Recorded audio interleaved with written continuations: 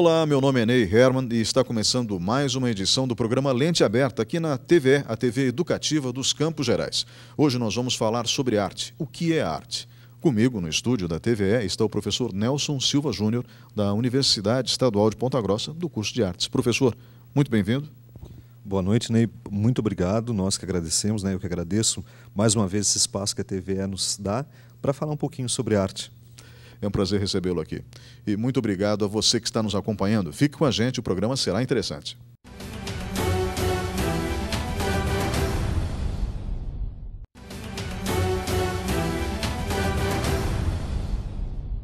Olá, estamos de volta com o programa Lente Aberta. Este é o segundo bloco falando sobre o que é arte. Comigo no estúdio está o professor Nelson Silva Júnior, da Universidade Estadual de Ponta Grossa, do curso de artes. Professor, nós, eh, quando imaginamos ou ouvimos a palavra arte, lembramos eh, da arte erudita, ou seja, dos grandes pintores, os grandes escultores, cujas obras estão em grandes museus, seja em São Paulo, em Paris, em Nova York. Eh, mas a arte ela é muito mais ampla do que isso, não é? O senhor poderia, e eu sei que isso é difícil, tentar definir arte para quem está em casa? Olha, Ney, é, realmente, como você falou, definir a arte é uma coisa difícil, mas eu vou tentar ir na, nessa tua linha de raciocínio, que é muito importante, porque o que você falou é uma grande verdade. Quando nós falamos em arte, geralmente nós vinculamos esse pensamento a essa arte erudita, a arte dos grandes museus, dos grandes concertos, é, e esquecemos que a arte ela está no nosso dia a dia. Eu acho que esse é o grande papel, por exemplo, da educação, é mostrar né, para o jovem, para a criança, que a arte ela, ela está no nosso cotidiano. Então, desde o momento que nós fazemos opção por uma roupa, por um corte de cabelo, aquilo que nós usamos, aquilo que nós ouvimos, o que nós vestimos, é, sabe, a cor do carro, a cor da roupa, isso tudo é uma forma de expressão artística, de manifestação artística. Então, a gente pode pensar em arte enquanto expressão do homem, né? essa expressão do homem, e ela é construída historicamente, historicamente e socialmente. Ah, aí eu gosto de pensar porque quando a gente fala com, com, em arte, a arte como uma coisa elitista, e ela não deveria ter esse papel nas nossas vidas. Né? Quer dizer, claro, ah, eu quero conhecer a Mona Lisa, não necessariamente eu tenho que ir para o Louvre para conhecer a Mona Lisa, eu posso conhecer toda a história da Mona Lisa, eu posso... Claro que a sensação de estar diante da Mona Lisa, de uma grande obra de arte, ela é diferente né, do que você vê pela tela do computador. Mas eu posso perceber, posso entender a história da arte, eu posso entender a história dos artistas que produzem a arte, né? a partir do livro, da internet, da escola. Esse é o papel da escola. Então eu sempre digo assim para os meus alunos: olha, para nós que somos professores de arte, tudo é importante. Nós temos que assistir a novela, o filme que é um filme cult, o filme que é o filme de arte, mas o filme também que é o filme extremamente comercial, a música erudita, mas a música popular também. Por quê? Porque senão nós vamos elitizar essa arte. E se a arte é uma forma de expressão da humanidade, do homem, ela está em todos os momentos, né? em, em tudo. E, é, e uma coisa importante, ela vem de uma manifestação que é cultural também. Então, por exemplo, se eu pego um grupo de uma determinada cultura, ele vai expressar sua arte de uma determinada forma. Então, por isso que é tão importante, às vezes você pega lá o pano de prato que é bordado com um determinado ponto cruz, por exemplo, e ele é uma forma de expressão artística, ele não é só um artesanato, como as pessoas bem o colocam. Eu sempre falo para os meus alunos para a gente pensar nisso. Então, eu faço uma viagem para o Nordeste. Daí eu vou lá numa feira e compro uma das milhares de esculturas que estão lá expostas, né, que foi feito em, em grande escala para vender para o turista. E aí eu compro aquela escultura, pago às vezes, sei lá, 10 reais naquela escultura, trago para cá, né, tiro ela do seu espaço e trago para cá, vou na minha casa, coloco numa estante, num espaço privilegiado, lanço uma luz sobre ela e ela se torna uma obra de arte. Isso é muito interessante da gente pensar na questão da, da arte enquanto uma manifestação popular e da arte enquanto uma forma erudita, uma forma elitizada.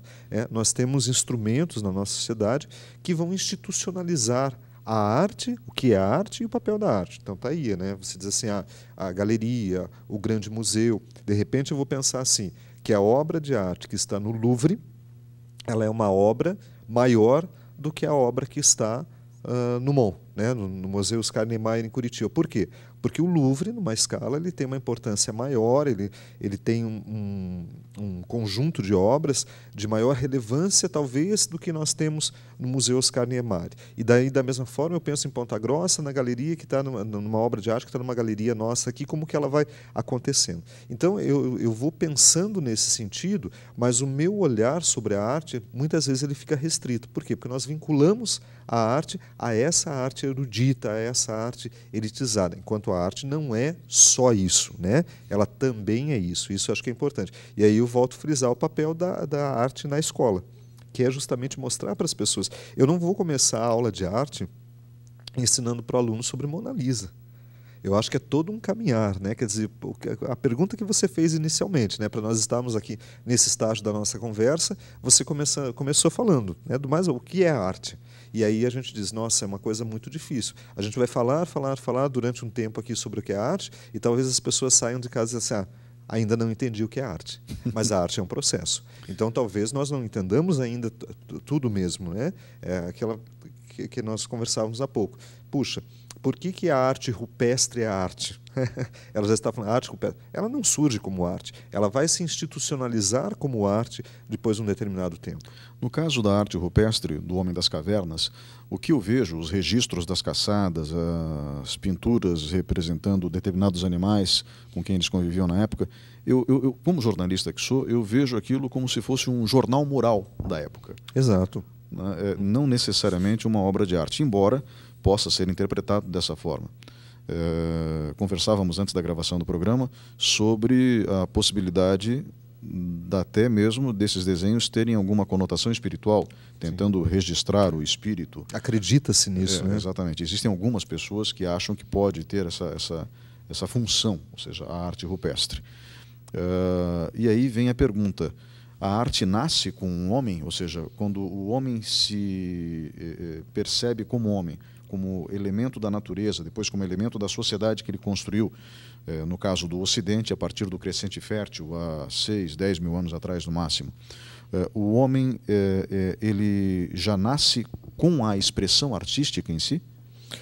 Olha só, eu, eu concordo com essa tua linha de raciocínio, para começar né, na, na, arte rupestre. Quando ele coloca lá na, na, na, na parede, né, nas das cavernas que estão lá preservadas, por exemplo, a gente tem aqui sítios arqueológicos no Brasil, na Espanha, que são importantes, é, ele não coloca aquilo como arte, ele coloca aquilo como expressão. Né? Quer dizer, é uma forma de me expressar que eu pertenço a esse mundo.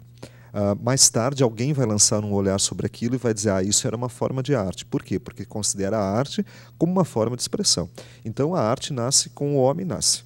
A, a partir do momento em que o homem ele deixa, é, é, ele passa a, a ter a postura desse desse homem, né? e aí eu não vou entrar na especificidade porque não é a minha área, mas quando ele começa a se entender como homem, como elemento que pertence a essa natureza, e ele começa a dizer que tem um espaço a pensar, ele vai fazer isso. Aí é interessante a gente pensar no caso do grafite. Né? Se a gente pensar o grafite lá nos anos 60, ele foi uma forma que as pessoas encontraram. Eu estou falando do grafite, não estou falando da, da pichação, né? que são duas coisas diferentes. Mas é uma forma de expressão, de dizer: olha, eu estou nesse mundo, eu penso nisso, eu tenho essa forma de me expressar. Eu quero dizer isso com isso que está na parede.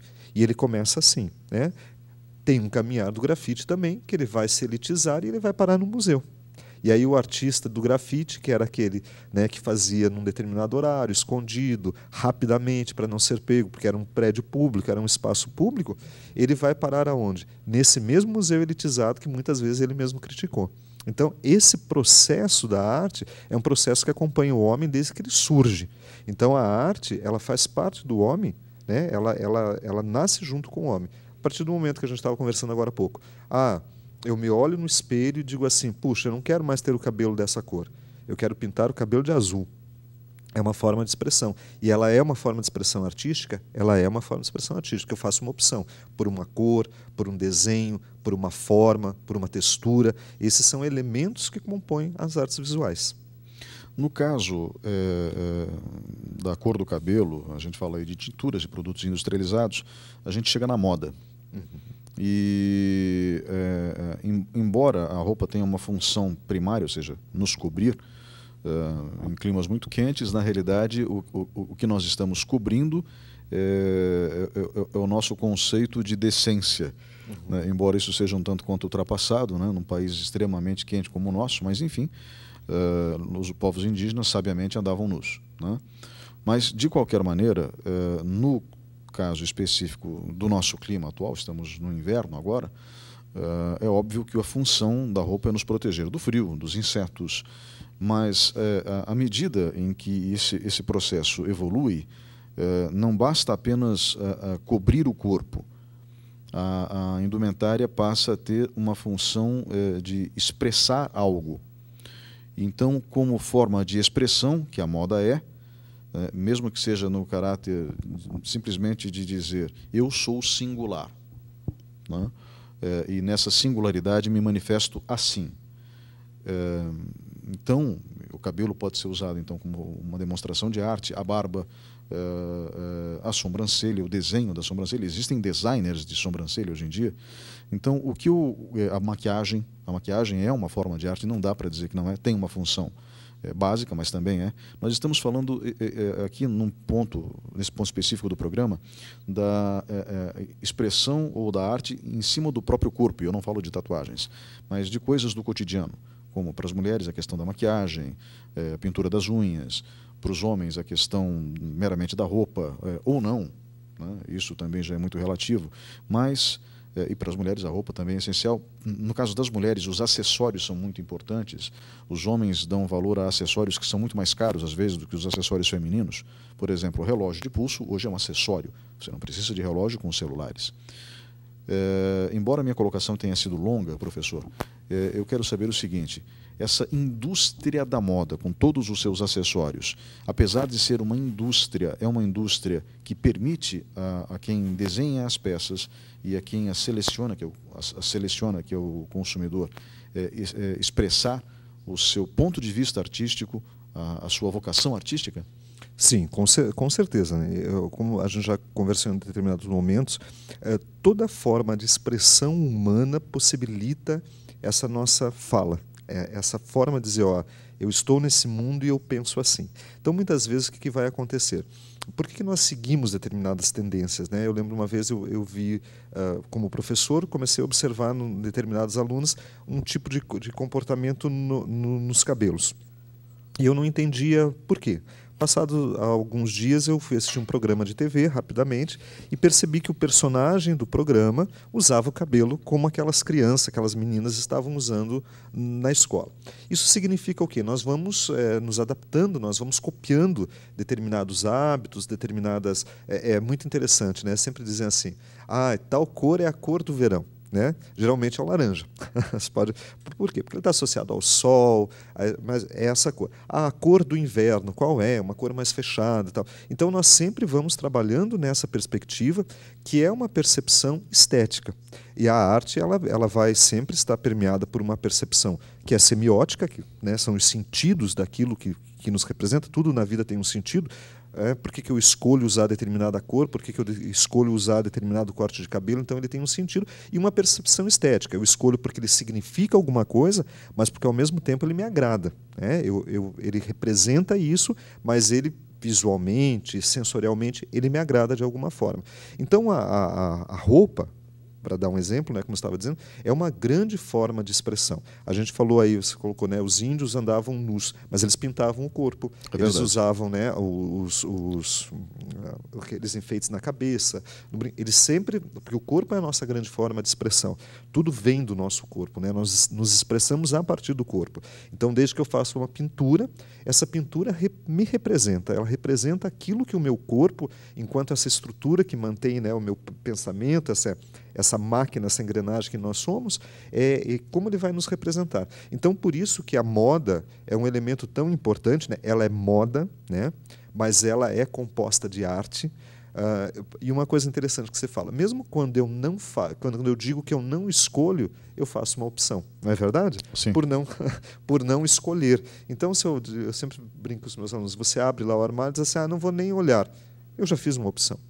Eu coloquei uma determinada roupa, eu coloquei uma determinada cor. De alguma forma ela chegou até você e você aceitou isso. Quando ela chegou e você aceitou, isso é uma forma de se expressar também.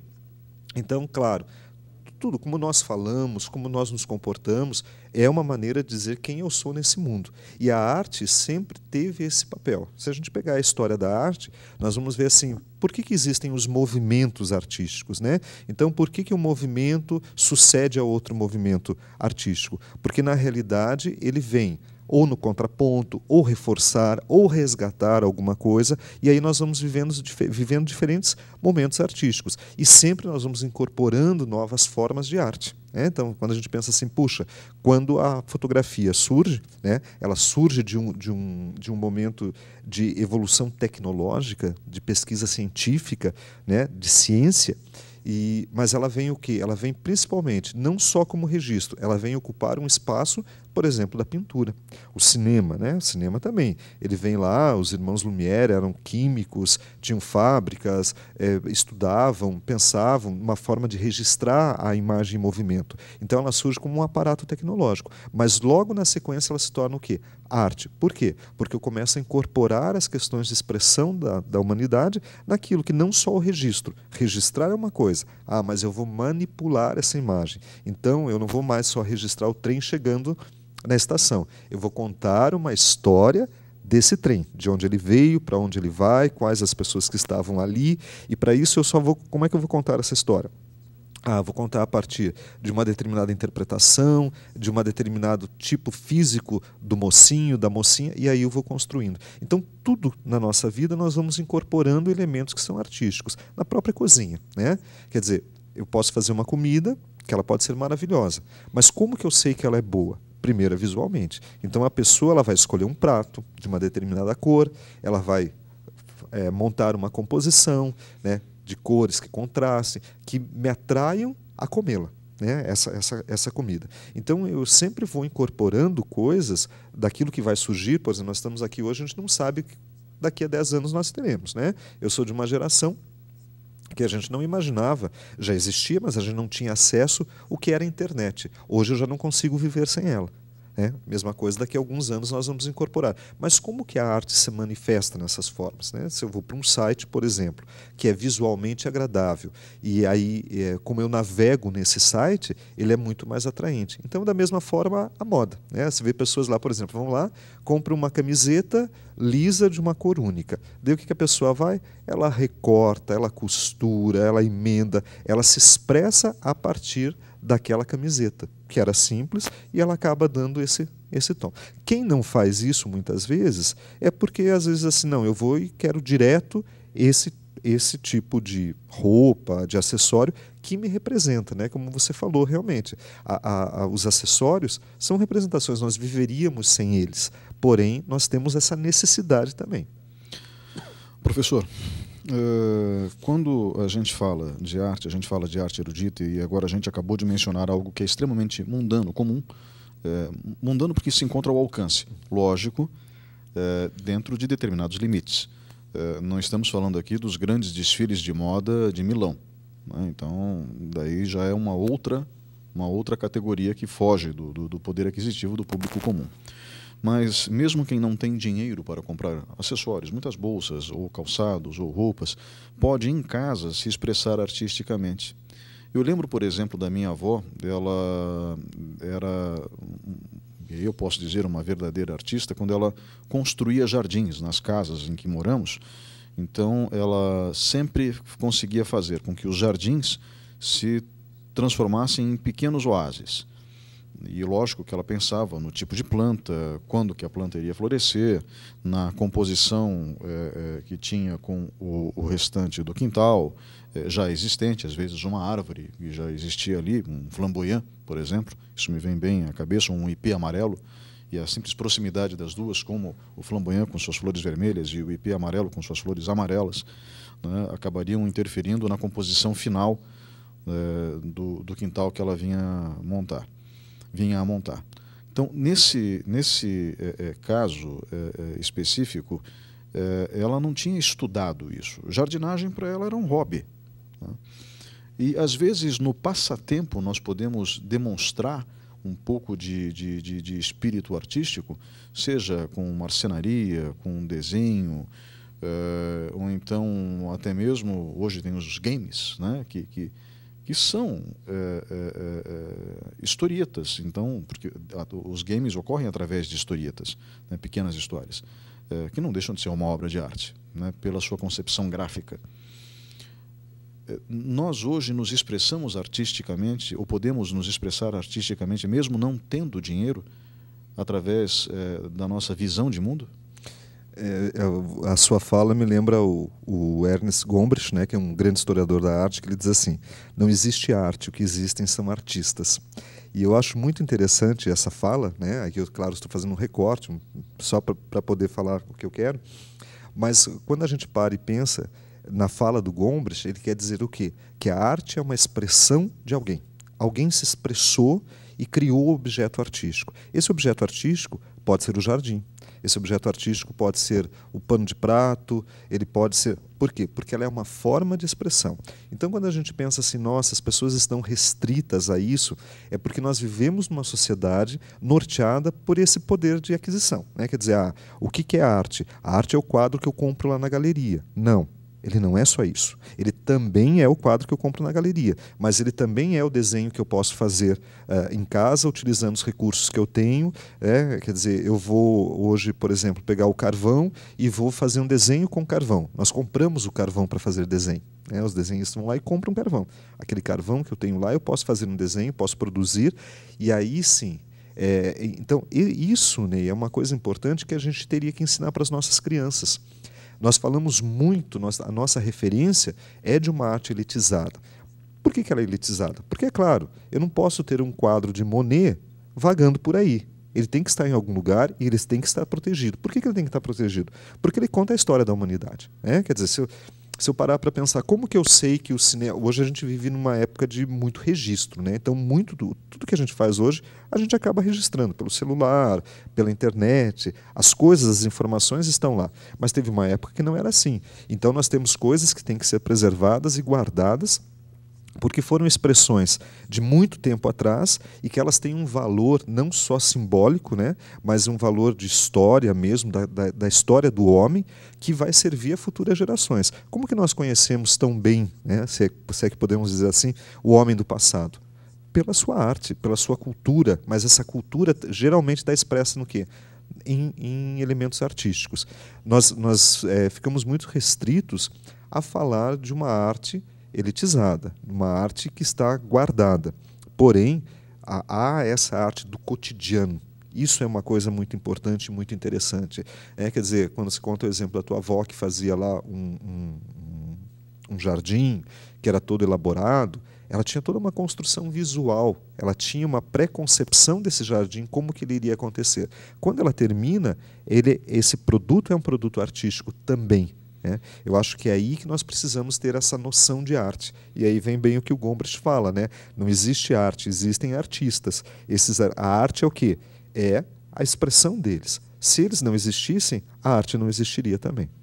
Andy Warhol falou nos anos 60, arte é o que o artista faz. Exatamente. É, e, e você vai pegar alguns teóricos que vão dizer assim, arte é o que eu digo que é arte. Isso é muito interessante quando você para, né? Claro que fica uma coisa assim, aí não, não que a gente esteja jogando fora a concepção, isso de forma alguma, né? É, é jamais eu, eu, eu, faria esse contraponto, essa contradição. Porém, é, a arte surge porque o homem existe. Porque ele surge em algum momento e ele passa a pensar: puxa, eu consigo me expressar na parede sobre aquele animal que eu quero que eu vou caçar. Né? Ele não tinha esse raciocínio, esse pensamento elaborado, porém ele já se expressava. Isso e isso nos permite entender o nosso passado. Assim como a arte que nós produzimos hoje vai ajudar a entender futuramente as gerações futuras quem, quem éramos nós, quem somos nós né, nos dias de hoje. Professor, obrigado pela participação nesse bloco. Nós voltamos em instantes com o programa Lente Aberta. Por favor, fique conosco.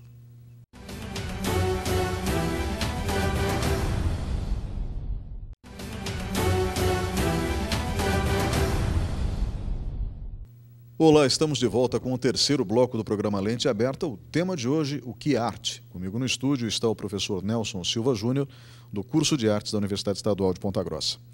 Professor, nós é, começamos pela definição, e o senhor deixou a definição bem vaga, né, porque realmente é difícil de estabelecer é, arte, já que a arte pode ser é, literalmente uma forma de expressão, pode ser simplesmente aquilo que o artista faz, pode ser a demonstração pragmática do conjunto de habilidades de um pintor, de um escultor, enfim, é, de um designer.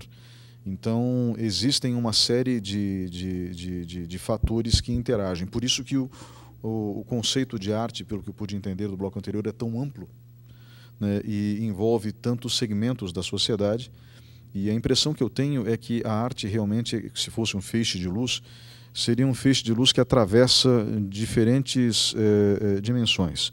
Então, nós eh, temos a dimensão pragmática, temos a dimensão eh, filosófica, talvez religiosa, a questão sensorial. Eu sempre encarei a arte como uma expressão sensorial.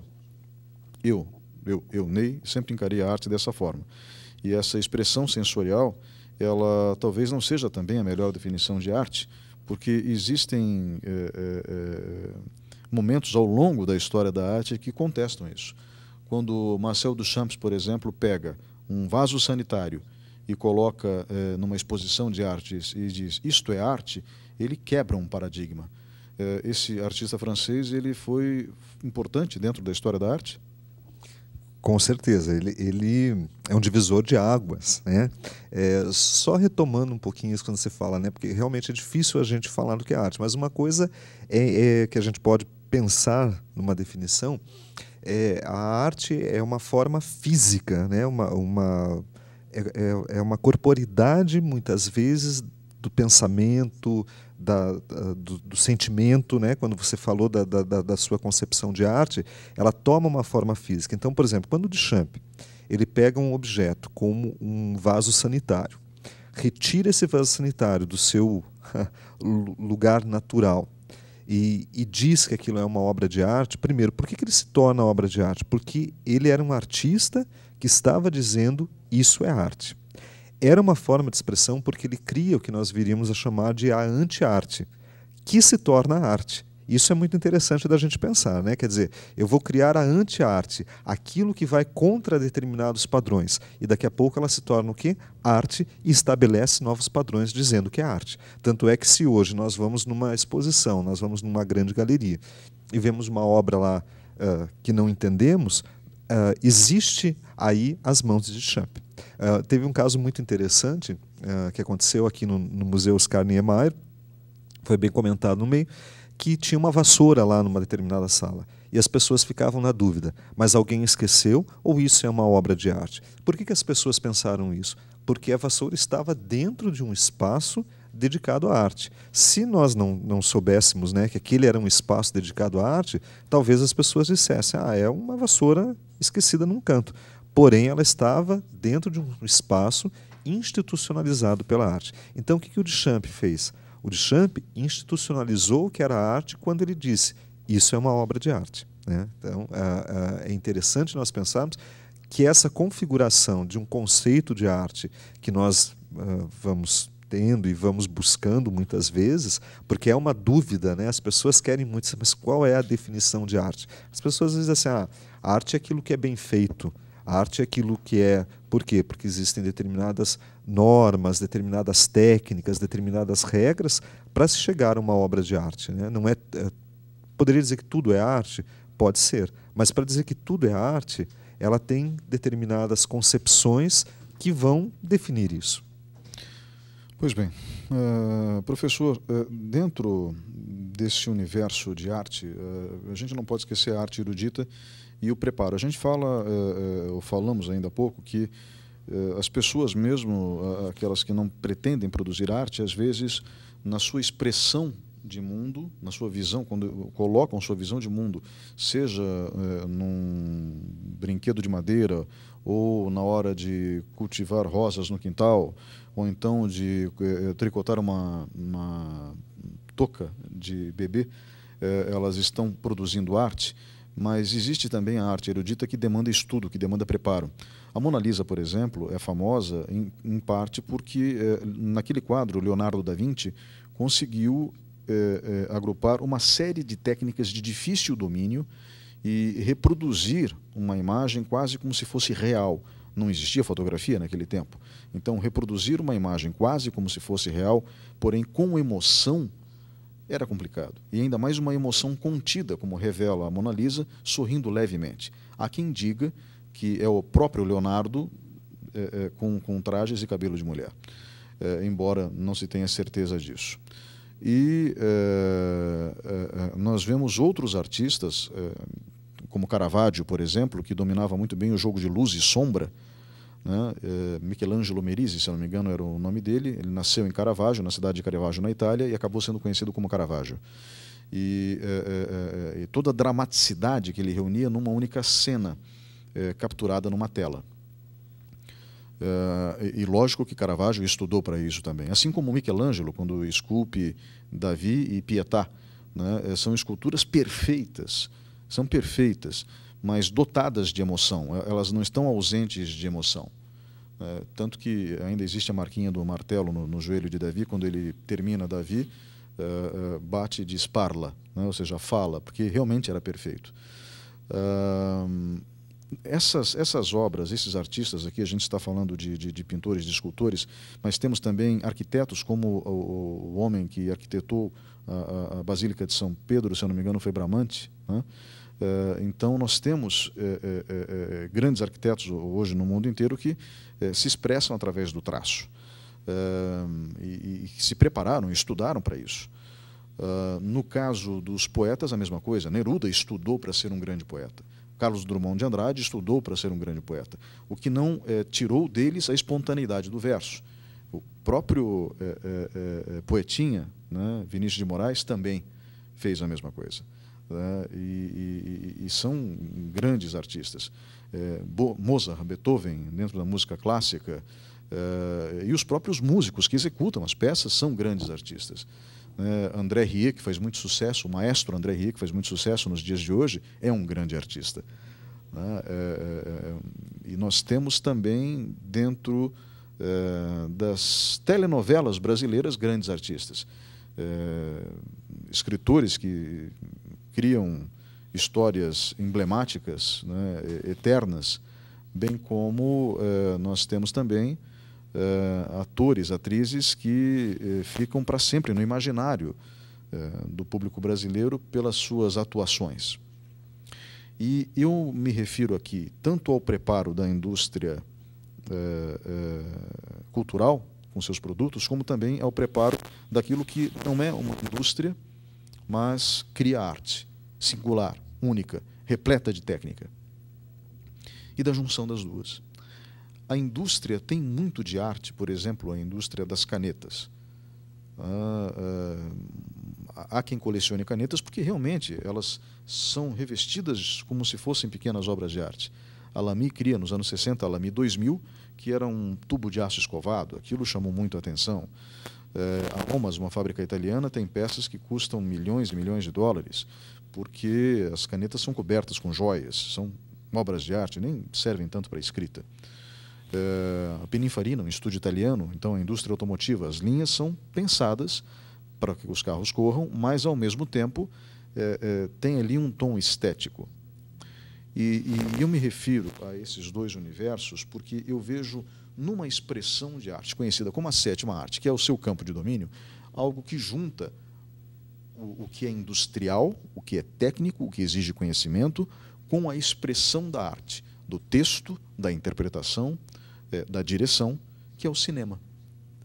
Né? É, o cinema congrega esses dois universos, professor, de maneira é, é perfeita na sua visão? Veja, né, eu acho que assim, quando a gente pensa na história da arte, nós caminhamos nesse processo. Né? Você falou da Mona Lisa e do Leonardo da Vinci. Por que a Mona Lisa é tão importante para a história da humanidade, não só para quem estuda arte, né, ou para os artistas? Porque naquele momento, naquele quadro, Da Vinci consegue sintetizar até onde o homem tinha ido. Né? Quando ele coloca a perspectiva, aquela perspectiva é, de Da Vinci, o esfumato, aquelas técnicas. Quer dizer, é até onde o homem chegou naquele momento. Então, ali é a representação, é o valor simbólico que uma obra daquelas tem. Se você olha hoje para Mona Lisa, talvez as gerações de olhem, mas Por que, que ela representa tudo o que representou? Você pega as obras do Van Gogh, no cinema você pega o filme lá do Cidadão Kane, do Orson Welles, né? Por que, que ele é, é tão representativo para a sua época? Por quê? Porque ele vai trazer, vai sintetizar todo o pensamento da humanidade ali. Por isso essas obras atingem né, valores, é, é, às vezes são inestimáveis mesmo.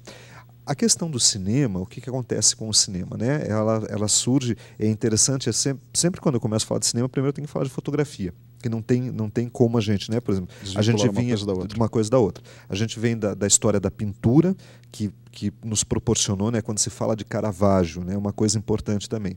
Por que, que Caravaggio conseguiu marcar com maestria? Não existe nada, na minha opinião, sem estudo. E quando eu falo, não é só o estudo formal, não é só aquele estudo nas universidades, nas escolas, não. É o estudo do dia a dia. Né? Então, quer dizer, a gente vai ter aí grandes artistas que nunca passaram por uma universidade. Foram Verdade. grandes artistas e tiveram uma contribuição que hoje as universidades estudam. Né? É, então, o que acontece? Houve estudo ali para se chegar naquilo. Mas o que, que aconteceu com Caravaggio? Ele representava as suas obras representam um movimento que foi o barroco que vai falar. Então você pega o barroco, a característica né, do contraste do claro e escuro, ele consegue trazer a dramaticidade. Por quê? Porque a humanidade passava por um momento né, da contrarreforma, das guerras, então ele expressa tudo aquilo. Né? O Pablo Picasso na Guernica. Então sempre terá o estudo. Na questão, na, no caso do cinema, o que, que o cinema vai fazer? Né? Então vem a fotografia que as pessoas dizem, nossa, a pintura morreu. Não, a pintura se reinventa quando a fotografia surge. Ah, ela deixa de ter sentido de repente o retrato, mas ela acaba fazendo. Chega, vai chegar um momento na fotografia que você vai ver que eles unem, né? A fotografia e a pintura. Há um hibridismo já naquele momento. Ela se reinventa. Quando vem o cinema, que é a imagem em movimento, ele surge inicialmente como o quê? Como um aparato tecnológico, fruto de estudos, de pesquisas, né? Que vem desde quando? Desde a arte rupestre né, quando o homem já tenta registrar, deixar registrado uma imagem, inicialmente estática, e depois ela vai né, é, é, tentando, na história do cinema, você vai ver que em diferentes momentos da história do homem, ele tenta colocar essa imagem em movimento, até que ele chega no final do século XIX e consegue registrar, capturar essa imagem em movimento. Então o que ele faz? Primeiro é um registro daqui a pouco esse registro é superado. Né? Então eu até falo num texto, eu digo assim, ah, cansa-se de, né, de registrar o trem chegando, o bebê comendo, a saída da fábrica, que foram todos filmes dos irmãos Lumière que estão aí que marcaram esse momento. E aí eu começo, eu lanço um olhar sobre isso.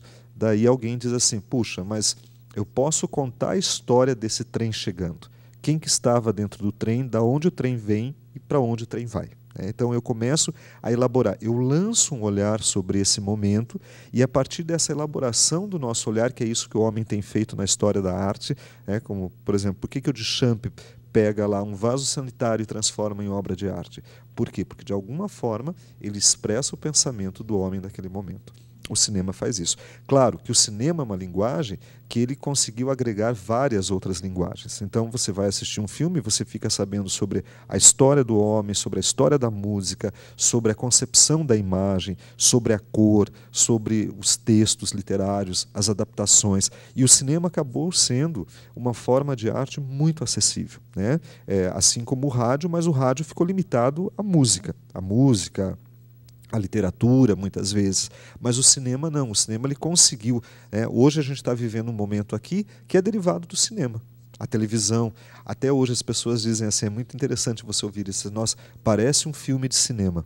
Por quê? Porque o cinema acabou se tornando uma referência nesse sentido. Mas ele vem de um processo, de um processo que vai ser no dia a dia superado. E não significa só o cinema arte, só o filme de arte. Aquele filme bastante comercial, aqueles blockbusters que nós assistimos, ele vem da onde? Ele vem da mesma origem. Então ele traz consigo o olhar, a direção, o roteiro. Ele é uma forma de expressão artística. Seja ele um filme comercial, seja ele um filme cult, seja ele um filme, um filme de arte, seja ele muitas vezes um documentário que é um registro. Né? Mas ele, ele tem um olhar que é manipulado, que é estudado para se dizer alguma coisa. Então a obra de arte ela sempre advém, ela sempre é, é, é originária de estudos. Que estudos são esses? A forma do homem se expressar. Né? Quer dizer, como que eu posso representar a minha indignação sobre uma coisa a partir do desenho? Aí eu estou fazendo um estudo, eu vou fazer uma pesquisa, eu vou trabalhar isso. Como que eu faço isso a partir da escultura? É? Uh, esses momentos, se você pegar lá, por exemplo, dando um exemplo aqui, né, o nosso cemitério municipal. Ele é um cemitério que é um museu a céu aberto. Nós temos várias obras de arte ali dentro. Mas muitas pessoas passam por ali, né, fazem uma determinada leitura e a gente não acaba. Por quê? Porque nós temos que educar o olhar das pessoas para que consigam perceber essa arte, né, do cotidiano, essa arte que está no dia a dia, no prato de comida, na roupa que a gente veste e que está nos museus também, né? que está no, na, na, nos concertos, está no teatro, está na dança, está no cinema. Esse é o grande papel da arte. Então, até para a gente pensar sobre isso, né? Ah, talvez mais do que uma definição de arte, é o papel da arte. Esse grande papel que ele tem de trazer um olhar diferenciado para o homem. Né? Nós seríamos muito mais felizes. A arte constrói a identidade de um povo? Com certeza. Na realidade, a arte, eu diria, ela é a, a revelação, é a expressão dessa identidade. Né? Porque quando nós criamos uma obra de arte, na realidade, na criação dessa obra de arte, surgem todos os aspectos culturais, o, o, que me torna um, um homem pertencente a um tempo e a um espaço. Isso é uma coisa muito importante da gente pensar. Toda obra de arte ela está vinculada né, a um contexto histórico, a um contexto geográfico, social, econômico. E voltando à história do cinema, o senhor falou antes em, em filmes eh, que são pura expressão artística. Eu me lembro de um que eu assisti nos anos 90, se eu não me engano, mas nem sei se é dos anos 80, dos anos 90 ou 80, O Ladrão, o Cozinheiro, Sua Esposa e o Amante, em que o, o diretor ele para os atores em determinados momentos e faz referências a telas famosas da história da pintura. E eu não vou estragar, eu não vou contar a história para não estragar quem quiser ver a película, né? Mas o, o filme ele, ele, ele, une duas linguagens bem interessantes. Ele consegue, naqueles momentos congelados, fazer uma alusão bem clara a, a, a determinadas telas famosas da história da pintura e, ao mesmo tempo, o, o seu final é surpreendente. Né? É, é, eu acho esse filme um dos filmes mais bonitos que eu já vi. Né? Seria uma das grandes referências. E o Peter Granway, que é o diretor e o produtor do filme, ele é um artista plástico. A formação dele é em artes plásticas, inclusive ele expôs na Bienal de Veneza. E ele trabalha, é, esse filme é uma expressão do barroco. Né? Ele, ele, é todo inspirado no, no, no barroco. Então, o que, que, ele vai fazer? Na realidade, isso é uma coisa interessante nós pensarmos, nós sempre vamos trazer referências.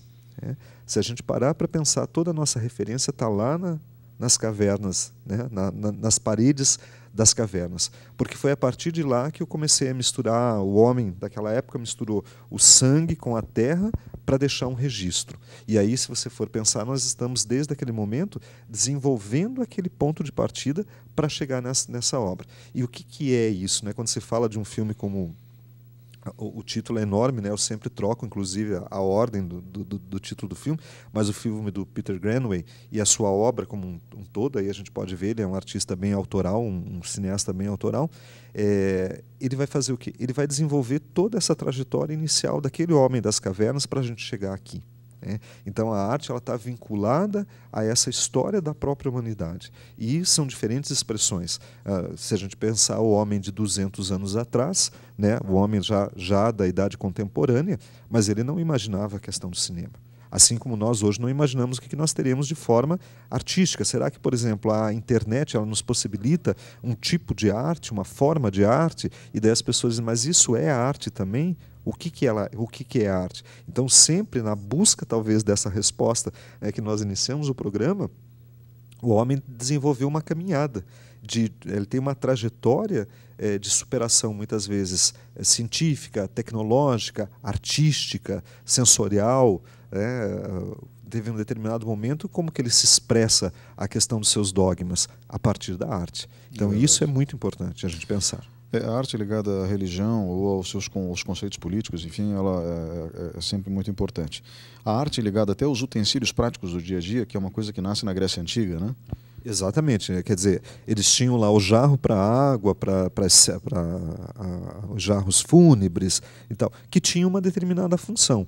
Eles cumpriam a função sem uma intervenção artística. Mas o que, que o homem faz? Ele se expressa lá. E é graças a essa expressão, essa forma artística de contar a sua história, que nós sabemos o que nós sabemos hoje. Né? A gente pegar a arte egípcia, toda, todo o registro da, da, história de como as próprias pirâmides chegaram ali, como que o povo grego se, se comportava, quem eram qual, qual era o pensamento desse povo, né, voltada para o homem, para a perfeição do homem, né? então está aí as esculturas gregas, o perfil grego que a gente vai ter, você vai entender isso. Então a arte sempre ela está expressando o pensamento daquele homem, daquele tempo, daquele lugar. Os próprios hieróglifos são pequenas obras de arte, cada um Exatamente. Deles, né? São registros, é, isso é uma coisa importante da gente pensar que a obra de arte ela é também um registro. Registro do quê?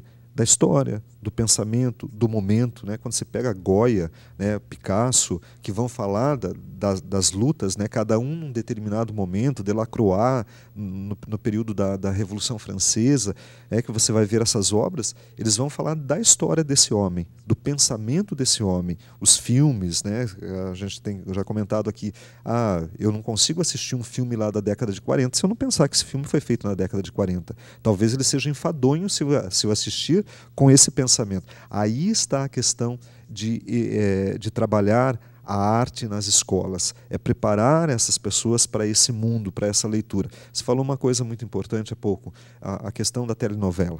Né? Eu sempre falo para os meus alunos, eu acho que a gente tem que assistir novela, a gente tem que ouvir o rádio, uh, para que você possa entender em que mundo que você está.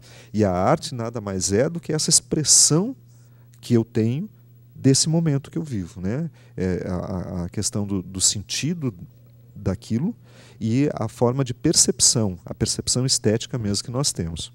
Professor, a gente está chegando ao fim do programa, mas eu queria aqui aproveitar uh, uh, apenas para entender.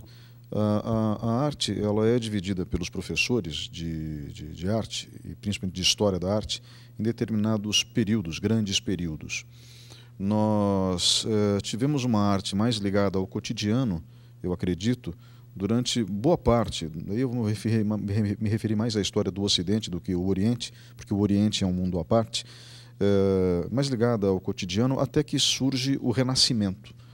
Né, eh, em três fases, né, nos anos 1300, 1400, 1500, e, e daí nós temos esse, essa recuperação da arte inspirada no período clássico grego, se eu não me engano, mas com, obviamente, toda uma leitura de época. Depois do Renascimento surgem outros movimentos. Uh, entre esses movimentos, quais seriam os mais importantes? Apenas para que as pessoas pudessem pesquisar em casa, caso tenham interesse só para a gente falar, por exemplo, dessa retomada, né? quando você diz assim, ah, no Renascimento a gente vai retomar essa cultura greco-romana, o próprio neoclassicismo, né? ele já está falando, né? um novo classicismo. Mas quando a gente para, para você entender um pouquinho da história do homem a partir dos movimentos artísticos, eu diria que uh, a partir do Renascimento nós vamos tendo, por exemplo, o Barroco, o Rococó, o, o, neoclassicismo, o romantismo, que é um momento muito importante, que é, é, justamente dessa expressão do homem mesmo, do sentimento do homem, o que está acontecendo no mundo naquela época, o impressionismo, o expressionismo, o surrealismo. Então seria assim, de, de cada movimento nós poderíamos fazer um programa aqui falando sobre ele, essa importância. Mas uma coisa que eu acho que é muito importante e que as pessoas às vezes ficam assim, é, é interessante você, às vezes olha para uma obra impressionista e a pessoa diz assim: ah, isso é uma obra de arte, eu consigo entender isso como uma obra de arte. Porém, ela vai hoje no museu e olha uma arte contemporânea e ele se pergunta: mas isso é arte? Por que, que é arte? E aí a gente esquece esses contextos, a gente não lembra dessa evolução. E isso é muito importante a gente poder pensar, porque eu consigo apreciar a arte contemporânea hoje se eu tenho um entendimento desse caminhar do homem, como o próprio cinema, como a própria telenovela, talvez até como na área de vocês do próprio jornalismo, né? Quer dizer, o jornalismo que se pratica hoje é diferente do jornalismo que se praticou no início do século, por exemplo. Né? Aí eu estou só, só dando um exemplo. Mas é, então eu diria para as pessoas que pelo menos esses movimentos seriam interessantes a gente parar para pensar um pouquinho o que, que, eles representavam e como eles se sucedem. Né? A sucessão de um movimento, muitas vezes, é, é, é, é um contraponto ao movimento anterior, é uma retomada. A humanidade é cíclica. Né? Isso nós já sabemos. A moda é cíclica, a, a, tudo é cíclico, né? Quer dizer, vai chegar um determinado momento que nós vamos resgatar. Hoje, por exemplo, a gente fala muito, ah, a gente fala muito, né? Ah, estamos buscando retomadas de valores que a família perdeu, a, essa relação, mas é, nós vivemos um momento diferente. Nunca é, é, é, essas relações vão ser as mesmas daquela época. Elas são relações diferentes, né? elas estão dentro de um contexto. A arte da mesma forma. Então, isso é importante uh, para a gente entender a arte contemporânea, até pensar nesses movimentos que estão uh, que fizeram parte desse ciclo para nós chegarmos aqui. Né? Eu não sei se eu respondi exatamente o que você, mas uh, seriam esses esses movimentos. Né? Quando se pensa, por exemplo, o surrealismo, que ele, ele é uma uh, o expressionismo, né? falando do expressionismo, por exemplo, ele vai ser o que? Ele vai ser o fruto dessa passagem, dessa mudança de século, do século XIX para o século XX, da angústia do homem. Né? A obra, o Grito do Munch, lá, ela, ele vai. Por que, que ela é uma obra tão importante? Porque ele vai falar justamente dessa angústia do homem na mudança de século, do século XIX para o século XX, quando ele gritava se perguntando: mas quem sou eu? Onde que eu estou? É, nós temos isso. Quando você pega o movimento do grafite na década de 60, era aquela juventude falando sobre isso. É, o que, que nós estamos vivendo hoje da arte contemporânea? Que você de repente chega, teve uma exposição numa galeria importante de Londres e que a, a exposição centrava era uma sala totalmente vazia. Qual que era a obra de arte? Uma arte, obra de arte conceitual, claro, né? mas justamente fazer com que quem entrasse ali se questionasse o que é isso, o que é arte. Né? Isso é arte? Professor, muito obrigado pela sua participação aqui no Lente Aberta, na TV Educativa. Muito obrigado pela sua presença na TV Educativa como apresentador do TVS Cinema. Foi um projeto que eu elaborei com muito carinho e fiquei muito contente que o senhor assumisse o projeto daquele ponto em diante, porque eh, eu, como mencionei, encaro o cinema como uma das demonstrações mais carismáticas de arte que nós temos dentro da história da humanidade. E fica aqui o meu agradecimento em nome do público, a sua presença, não só hoje aqui, mas é, toda quinta-feira apresentando o TV Cinema. Ney, eu que agradeço, digo assim, a TV, na, na, na sua pessoa, realmente você nos convidou para participar e elaborou o projeto, abriu um espaço que não tem como a gente calcular a sua importância. Realmente, e é isso que nós precisamos, né? é levar a arte sempre mais próxima a, a, ao, ao, público, não só essa arte que a gente fala da arte erudita, elitizada, mas a essa arte do cotidiano. E a TV tem aberto esse espaço de forma assim ímpar. Então, eu que agradeço e me coloco à disposição, assim como o próprio Departamento de Artes, os outros professores também posso falar por eles, com certeza, para virem ao seu programa contribuir com você no que você precisar. Muito obrigado, obrigado professor. Obrigado a você. E muito obrigado a você que estava em casa nos acompanhando até agora. O programa Lente Aberta fica por aqui. Voltamos na semana que vem.